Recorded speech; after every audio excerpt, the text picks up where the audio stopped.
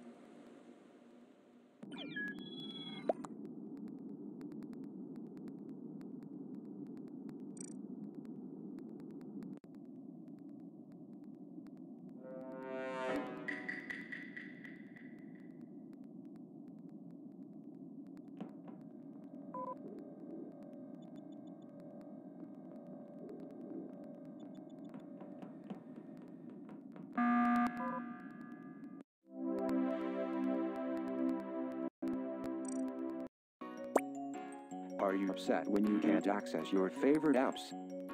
Don't worry,